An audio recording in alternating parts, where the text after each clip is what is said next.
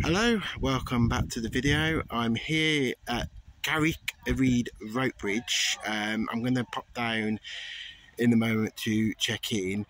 It's just up the coast from Giant's Causeway um, and I've caught the 402 bus from Giant's Causeway to the Rope Bridge which is probably about another half hour or so or probably slightly less than that.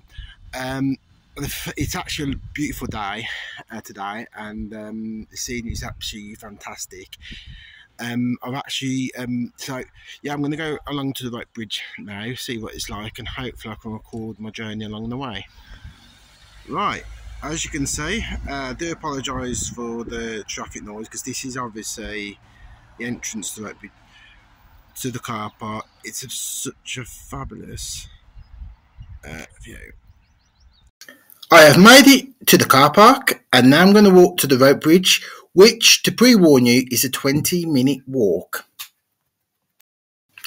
This is the rope bridge. It's taking me 20 minutes from the car park to walk to the rope bridge and on the walk there were fabulous views out to sea.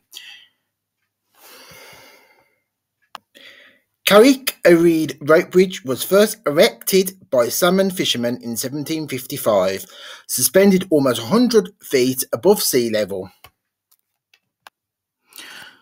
I have safely crossed the bridge and here is the, is the tops of the fishermen huts on the other side of the bridge.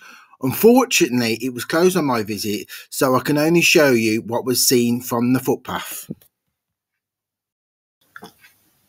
I am now going to leave you with views across the sea near the rope bridge.